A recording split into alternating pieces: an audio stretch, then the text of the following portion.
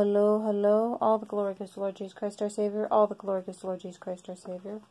And I'm going to be reading the second book of Adam and Eve, the Forgotten Books of Eden.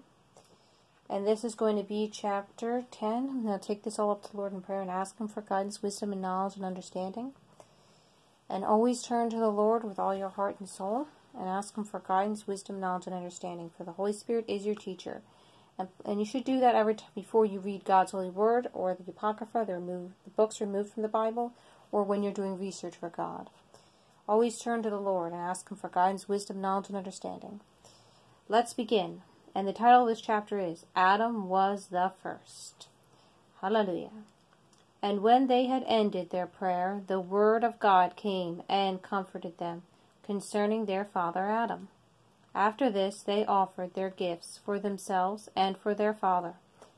And when they had ended their offering, the word of God came to Seth, the eldest among them, saying unto, the, unto him, O Seth, Seth, Seth, three times, as I was with thy father, so also shall I be with thee until the fulfillment of the promise I made him thy father, saying, I will send my word, and save thee and thy seed.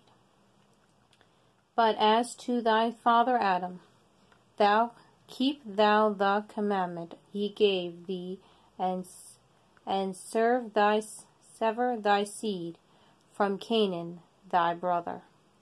And God withdrew his word from Seth. Then Seth, Eve, and their children came down from the mountain to the cave of cave of treasures. But Adam was the first whose soul died in the land of Eden, in the cave of treasures. For no one died before him but his son Abel, who died murdered. Then all the children of Adam rose up and wept over their father Adam, and made offerings to him one hundred and forty days.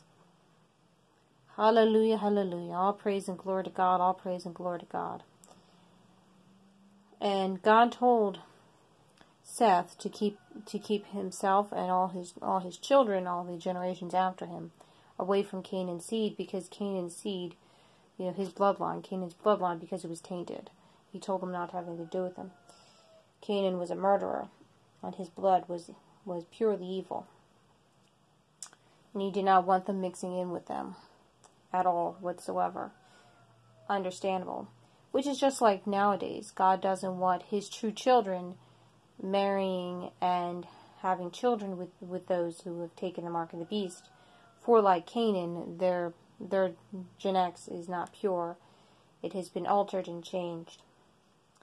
For as it was in the days of days before the flood of before the flood, Noah's flood is so it is, is today.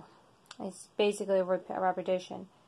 But back then, it was a, it wasn't like um like today, but it was still the same. The Canaanites were of Satan's seed, and so therefore, God did not want his his true children, which were the son the the sons and daughters of Seth, mixing in with them. He told them to stay on that holy mountain and stay away from them, and do not mix their seed with them. But God knew one day they would be tempted beyond their belief and that they would leave the holy mountain and come down and mix with the children of Seth, as it states later on in the second book of Adam and Eve. And the only ones that did not mix and have children with the, with the sons and daughters of Canaan was Methuselah and his wife, Lamech and his wife, and Noah and his wife and his sons they married the the daughters of Methuselah, who were pure blood. So they all had pure genetics, because God did not want um, the children of Canaan um, continuing into the new generation. But take this all up to the Lord in prayer and ask Him for wisdom, knowledge, and understanding. And Yeshua Yamahasha is coming.